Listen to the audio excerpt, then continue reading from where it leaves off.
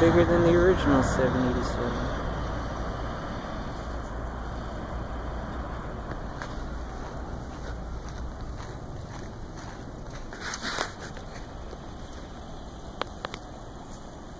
V1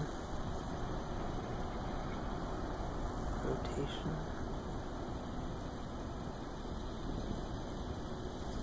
Oh, it disappeared.